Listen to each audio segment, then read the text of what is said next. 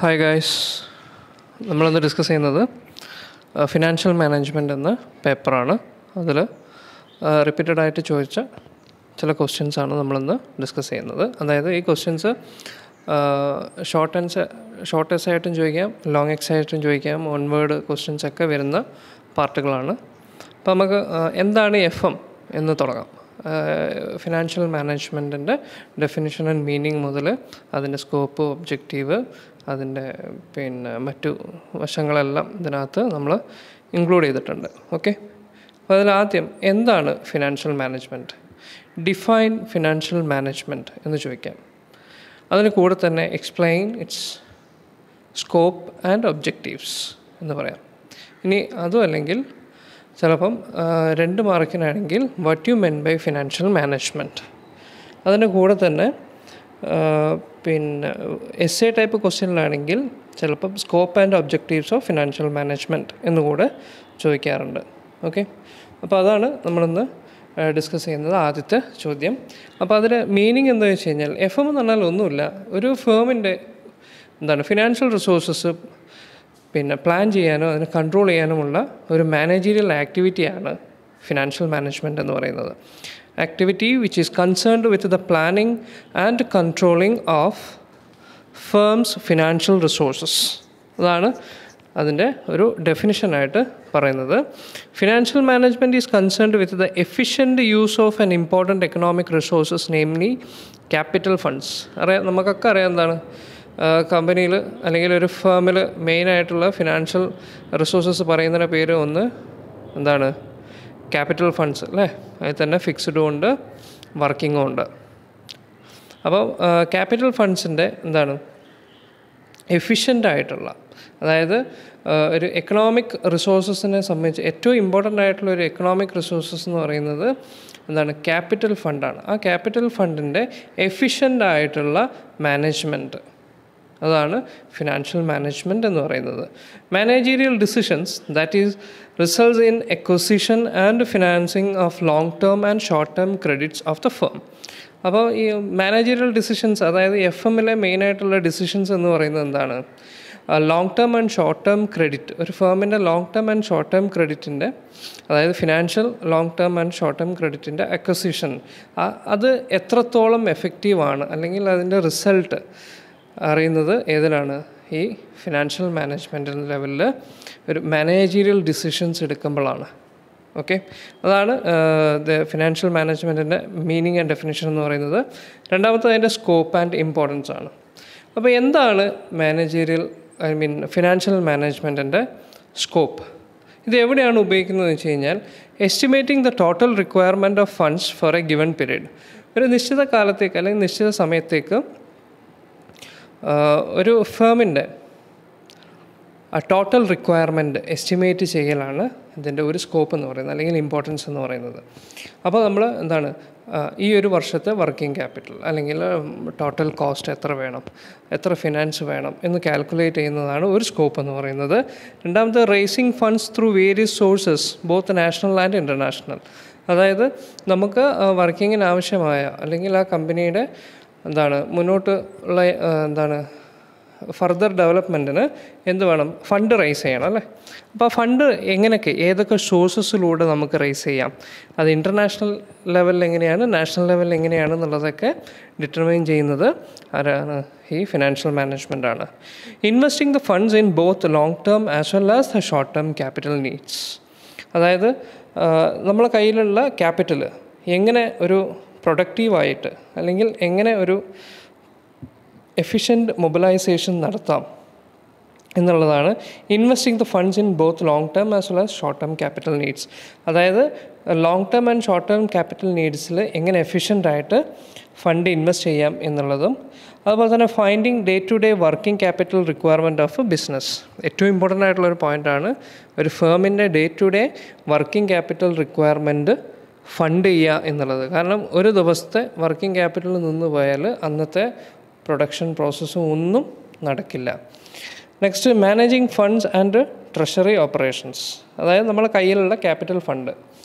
അത് എങ്ങനെയൊക്കെ നമ്മൾ മാനേജ് ചെയ്യുന്നു അത് അതിന്റെ ട്രഷറി ഓപ്പറേഷൻ കാര്യങ്ങളൊക്കെ എങ്ങനെയാണ് എന്നുള്ളതൊക്കെ ഡിറ്റർമിൻ ചെയ്യുന്നത് ഫിനാൻഷ്യൽ മാനേജ്മെന്റ് ആണ്.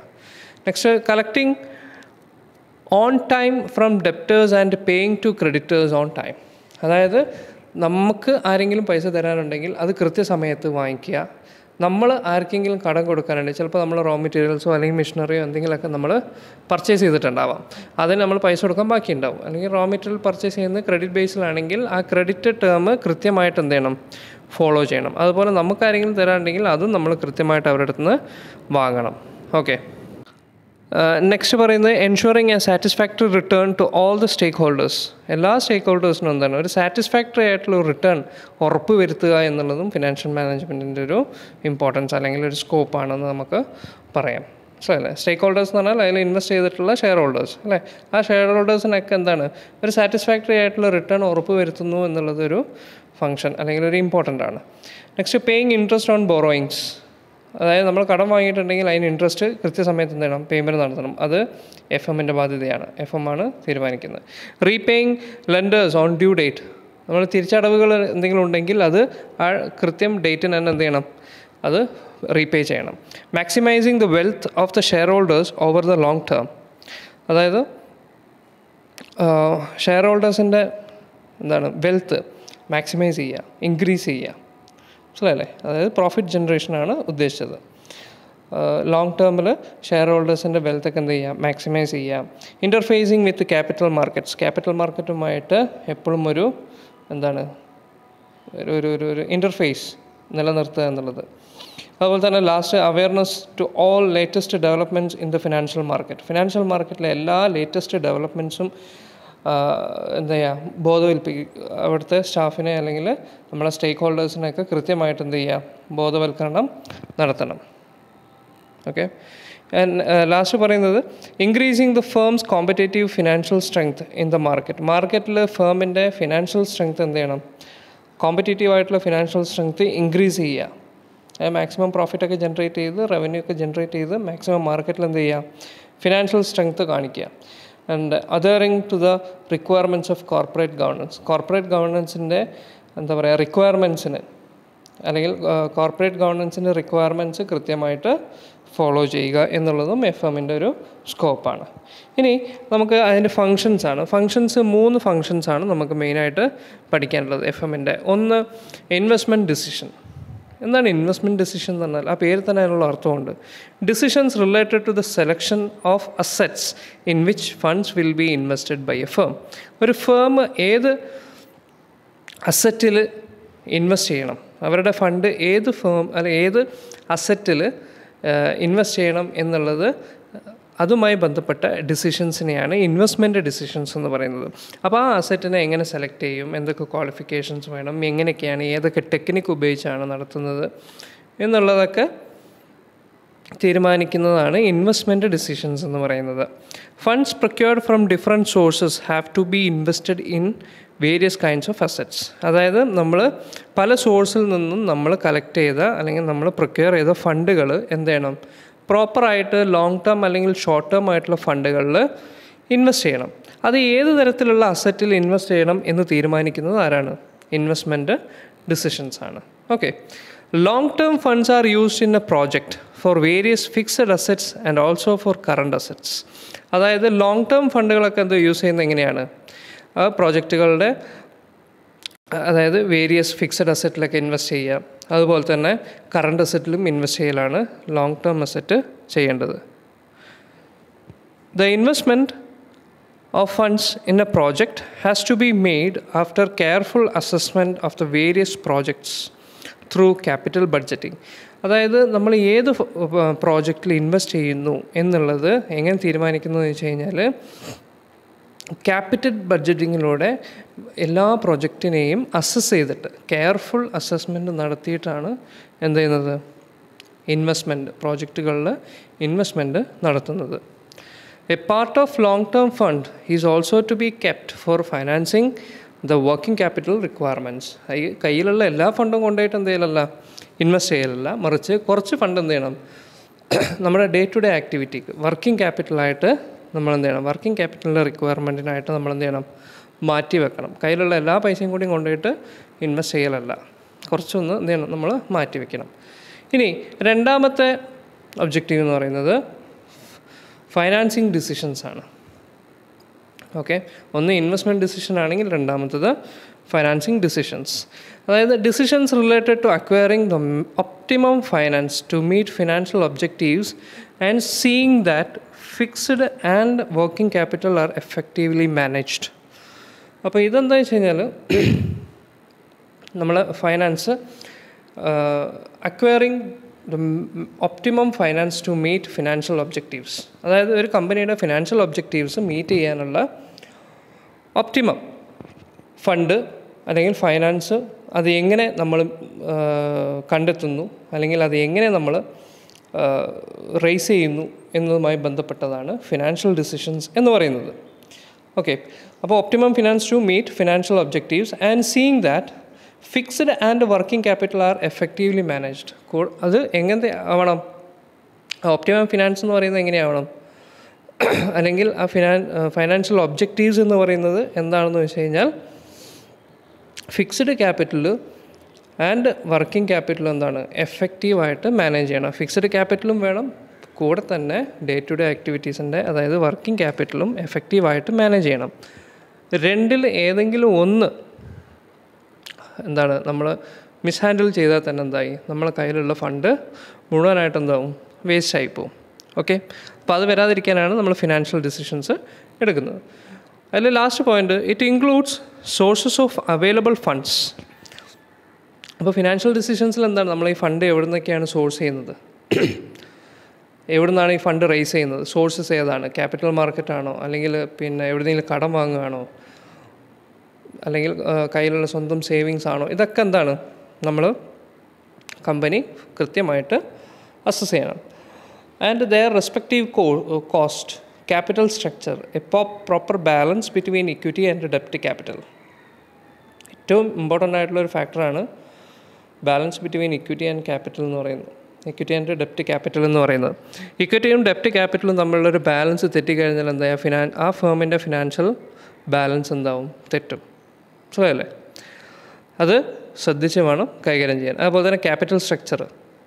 അതിന് എവിടെ നിന്നൊക്കെയാണ് നമ്മൾ ഫണ്ട് റേസ് ചെയ്യുന്നത്? കോസ്റ്റ്.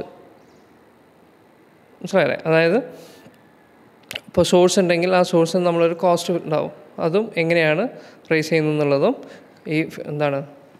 ഫൈനാൻസിങ് ഡിസിഷനിൽ നമ്മൾ തീരുമാനിക്കണം മൂന്നാമത്തത് ഡിവിഡന്റ് ഡിസിഷനാണ് ഡിവിഡന്റ് ഡിസിഷൻ എന്ന് പറയുന്നത് എന്താണ് decisions related to the determination as to how much and how frequently cash can be paid out of the profit of an organization as income for its owners or shareholders and the amount to be retained to support the growth of the organization.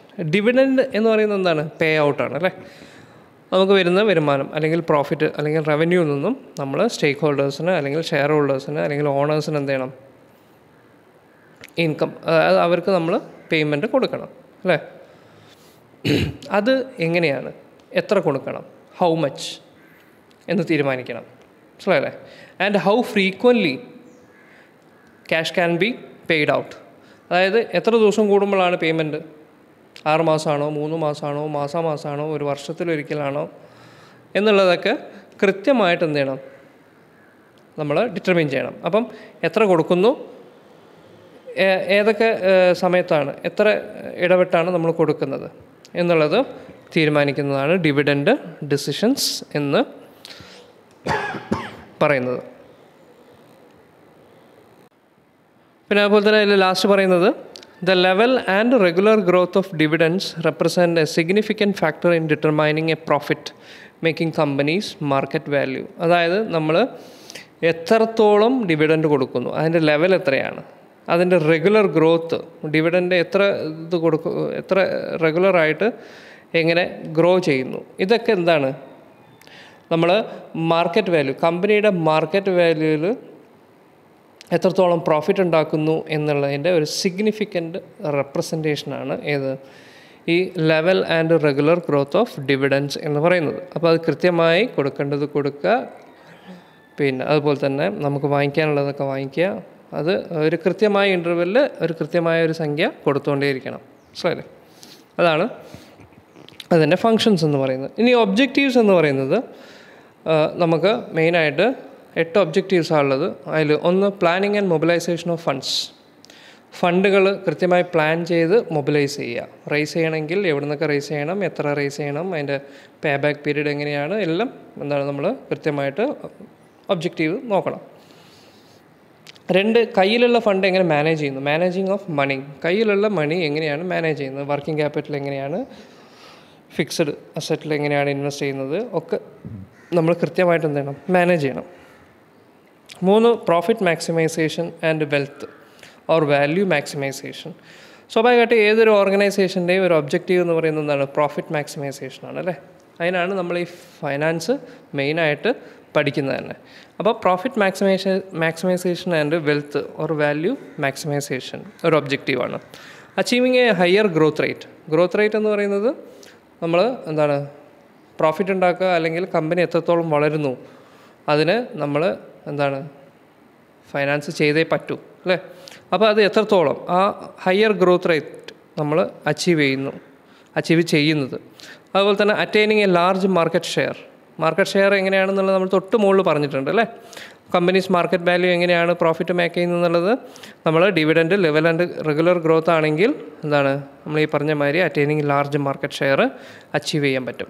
And ആറാമത്തെ promoting employee welfare employee welfare എന്ന് പറയുന്നത് നമ്മൾ ഓർഗനൈസേഷനിലെ എംപ്ലോയീസിന് കൃത്യമായി അവർക്ക് എന്താ പറയുക സാലറിക്ക് പുറമെ അല്ലെങ്കിൽ വേജിന് പുറമെ അവർക്ക് എന്താണ് ഇപ്പം ക്യാന്റീന് അല്ലെങ്കിൽ പിന്നെ മറ്റു എക്സ്ട്രാ ഫെസിലിറ്റീസൊക്കെ പ്രൊവൈഡ് ചെയ്യണമെങ്കിൽ നമുക്ക് എന്ത് വേണം? ഫണ്ട് വേണം അല്ലേ? അപ്പോൾ ആ ഫണ്ട് നമ്മൾ എവിടുന്ന് മൊബിലൈസ് ചെയ്യുന്നു? അല്ലെങ്കിൽ എവിടുന്ന് നമ്മൾ റേസ് ചെയ്യുന്നു? എന്നുള്ളതൊക്കെ നമ്മൾ കൃത്യമായി നോക്കണം. ഇൻക്രീസിങ് കസ്റ്റമർ സാറ്റിസ്ഫാക്ഷൻ ഇതൊക്കെ നോക്കിയാൽ മാത്രം പോരാ. കസ്റ്റമറുടെ സാറ്റിസ്ഫാക്ഷൻ കൂടെ നോക്കണം. അതിന് ചിലപ്പോൾ നമ്മൾ അഡീഷണൽ ആയിട്ട് സർവീസും മറ്റും കാര്യങ്ങളൊക്കെ പ്രൊവൈഡ് ചെയ്യണം. അതിനൊക്കെ നമുക്ക് എന്താണ് കോസ്റ്റ് കൊടുക്കണം. ആൻഡ് എട്ടാമത് ഇമ്പ്രൂവ് കമ്മ്യൂണിറ്റി ലൈഫ് നമ്മൾ എന്താ പറയുക ഫിനാൻഷ്യൽ മാനേജ്മെന്റിന്റെ ഒരു ഭാഗമാണ് ബഡ്ജറ്റിംഗ് അല്ലേ ആ ബഡ്ജറ്റിങ്ങിൽ കൃത്യമായിട്ട് നമ്മൾ എന്ത് ചെയ്യണം? നമ്മൾ സൊസൈറ്റി ഒക്കെയുള്ള ഡെവലപ്മെന്റും കാര്യങ്ങൾക്കുള്ള ഫണ്ട് നമ്മൾ കോർപ്പറേറ്റ് റെസ്പോൺസിബിലിറ്റീസ് എന്നൊക്കെ പറയുന്നത്. അല്ലെങ്കിൽ കോർപ്പറേറ്റ് ഗവർണൻസ് എന്നൊക്കെ പറയില്ലേ ആ കോർപ്പറേറ്റ് ഗവർണൻസിന്റെ പാർട്ടിൽ നമ്മൾ ചിലവാക്കണമെങ്കിൽ നമുക്ക് ഫണ്ട് വേണം. അപ്പോൾ ആ ഫണ്ട് എവിടെ നിന്ന് റേസ് ചെയ്യും എങ്ങനെ റേസ് ചെയ്യും എത്ര ചിലവാക്കണം എവിടെയൊക്കെ ചിലവാക്കണം എന്നുള്ളതൊക്കെ ഒരു ഫൈനാൻസിങ് ഡിസിഷൻസിന്റെ ഭാഗമാണ്. അപ്പോൾ ഇത്രയാണ് നമുക്കൊന്ന് ഈ ഇതിൽ ഡിസ്കസ് ചെയ്യാനുള്ളത്. അപ്പോൾ സ്ഥിരമായി ചോദിക്കുന്ന ക്വസ്റ്റ്യനാണ് ഫൈനാൻഷ്യൽ മാനേജ്മെന്റ് അതിന്റെ definition meaning functions objectives okay നമുക്ക് ബാക്കി അടുത്ത ക്ലാസ്സിൽ ഡിസ്കസ് ചെയ്യാം. താങ്ക്